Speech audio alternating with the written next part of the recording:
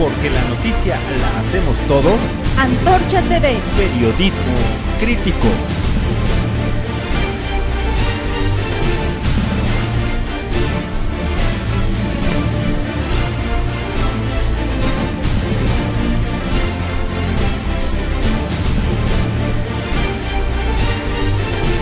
Antorcha TV. Periodismo crítico. Hola, muy buenos días. Yo soy Edna Hernández y le doy una cordial bienvenida a este su programa. El día de hoy el antorchismo del Estado de México realizará cuatro concentraciones masivas en plazas de Toluca. Mañana le tendremos los detalles. Mientras tanto, vamos con la información del día de hoy. En el estado de Puebla, antorchistas se manifestaron frente a la Secretaría de Desarrollo Urbano y Obras Públicas para solicitar la reparación de 15 calles en tres colonias. Vamos con más información con nuestra compañera Diana Vázquez. Una comisión de 200 antorchistas se apersonó en la Secretaría de Desarrollo Urbano y Obras Públicas para solicitar la reparación de 15 calles en tres colonias, que por la temporada de lluvias han quedado intransitables por el mal estado en el que se encuentran. Todos nosotros sabemos lo duro que es vivir en calles donde en cada periodo de lluvias tenemos que batirnos en el lodo. El líder antorchista al norte de la capital, Benito Esteban Casillas, dijo que, previniendo este panorama, desde hace cuatro meses solicitaron al titular de esta dependencia, José Felipe Velázquez Gutiérrez, la reparación de estas vialidades, pero no se ha resuelto el problema.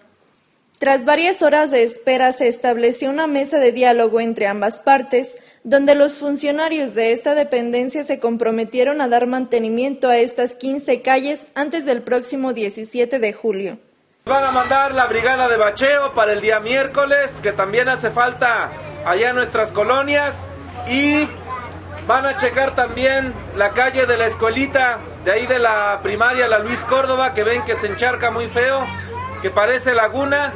Y el compromiso es que sí, compañeros, que para estos días van a ver de dónde sacan una y la van a mandar para nuestras colonias. Los inconformes pertenecen a las colonias Independencia, 2 de marzo y Luis Córdoba, siendo alrededor de mil familias afectadas al norte de la Angelópolis. Informó para Antorcha TV Diana Vázquez.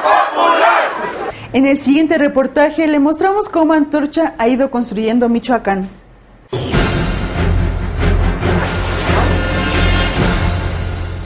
Las necesidades de la gente pobre de Michoacán requieren ser satisfechas de manera eficaz. Solo unidos fraternalmente y luchando lograrán solucionar de raíz sus problemas.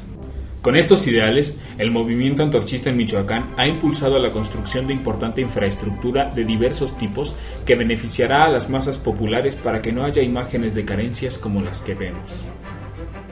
Antorcha Campesina no trabaja desde un escritorio, desde una oficina. Sus activistas platican con los campesinos y colonos, los reúnen, les explican los propósitos de la organización, tratan de recoger sus problemas, de organizarlos y hacerlos participar en las luchas en general encaminadas hacia el beneficio de sus comunidades. Algunas de las obras más notables se encuentran en la Unidad Deportiva Wenceslao Victoria Soto, Actualmente se cubre de pasto sintético la cancha número 1. Como usted puede ver, el trabajador está terminando ya de colocar el pasto. De igual manera está en pie la obra de la pista de tartán.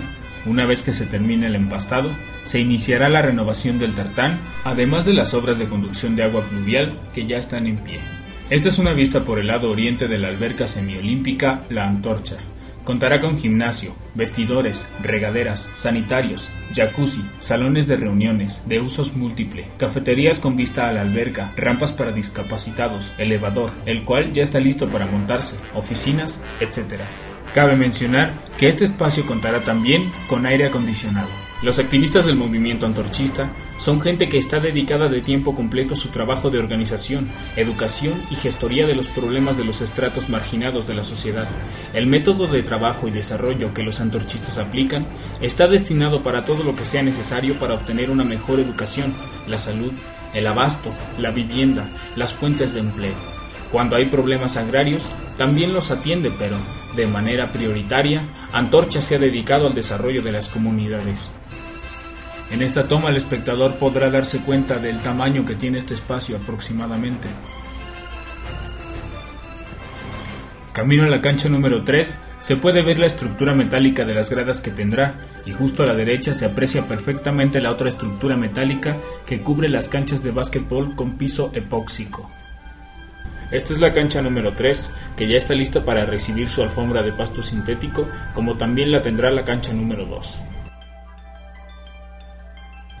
El Teatro La Antorcha que ya empieza a levantar su mole de cíclope, dará cabida a más de 1.200 espectadores y contará también con amplios sanitarios, salones de conferencias, oficinas, áreas y salones diversos, y el teatro contará con un moderno sistema de ingeniería para sonido y tramoya.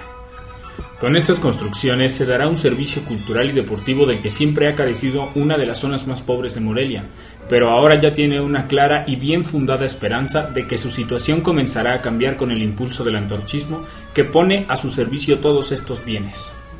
La gente con la que los antorchistas trabajan no conoce a la organización por su propaganda o sus membretes, no tiene la idea de que Antorcha es algo abstracto, superior y alejado de ellos, sino que conocen a los antorchistas de carne y hueso, por sus obras, que todos pueden tocar literalmente.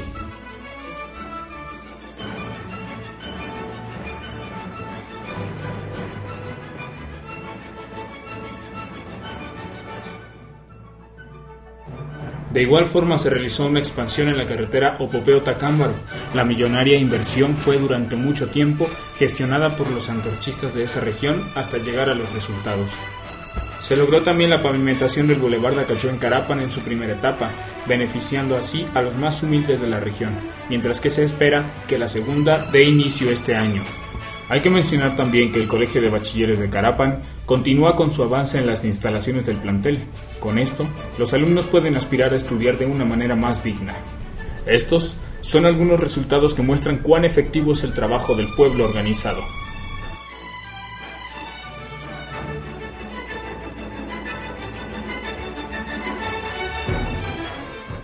Y ahora vamos con nuestro compañero Eduardo Gómez que tiene la información más relevante del país. El país en corto. Integrantes del movimiento antorchista en la capital se manifestaron frente a las oficinas del Partido Revolucionario Institucional debido al desacuerdo e incumplimiento del partido al no tomar en cuenta esta organización dentro de una planilla que conformará el equipo del alcalde electo de Jalapa, Américo Zúñiga Martínez.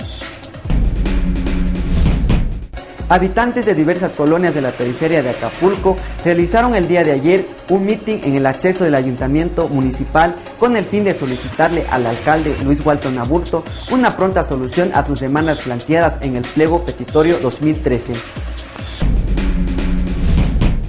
El miércoles pasado, una comisión de antorchistas de Miguel Alemán acudieron a la Secretaría de Salud con el fin de conseguir una audiencia con el secretario de esta dependencia para solicitar la construcción de un hospital en su comunidad. Elementos de la Secretaría de Seguridad Ciudadana arremetieron con lujo de violencia a transportistas agremiados al movimiento antorchista, denunció el dirigente estatal de Coapitlán Izcalli. Hasta aquí con la información, yo los espero mañana aquí en Antorcha TV. El antorchismo zacatecano festejará 21 años de trabajo y lucha organizada.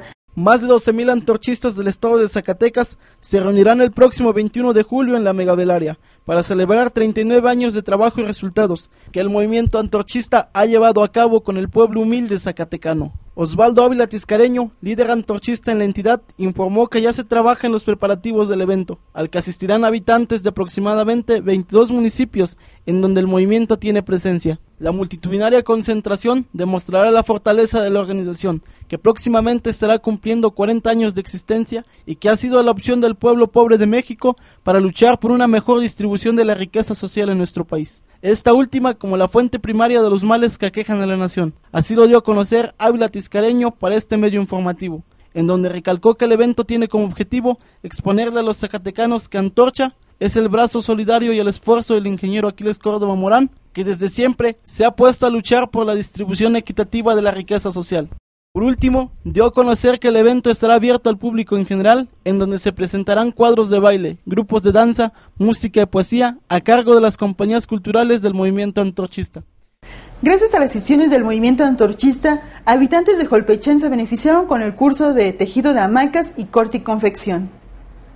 Cerca de 200 mil pesos fue el monto total que el movimiento antorchista de Holpechen logró para beneficiar a 42 mujeres y hombres que se integraron en los cursos de urtido de hamaca y el de corte y confección logrados a través del programa de autoempleo del Servicio Nacional de Empleo con lo que los becarios aprendieron y mejoraron el tejido de hamacas, elevando así su adiestramiento para la fabricación de estas artesanías que son muy usuales en la zona maya ya que es utilizado para dormir. Cada participante elaboró dos hamacas completas e inició una tercera. El material se les obsequió como parte del programa, además que cada uno recibió la cantidad de 3.200 pesos.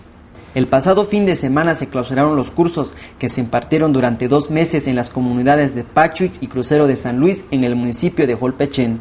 La instructora Ana Laura Pérez Novelo agradeció a los participantes por su empeño, pues mostraron un gran interés en aprender y agradeció también al movimiento antorchista por haber logrado este curso. En el evento de clausura estuvieron presentes el representante del movimiento antorchista Sebastián Navarramos y la presencia del alcalde del municipio Alonso Pacheco Ucan y el diputado local Jesús Quiñones, quienes felicitaron a las mujeres y reconocieron el trabajo de Antorcha Campesina en beneficio de los cheneros. Esto fue todo por hoy. Es un gusto que me haya acompañado en una transmisión más de Antorcha TV. Le deseo que tenga buen día. Antorcha TV. Periodismo crítico.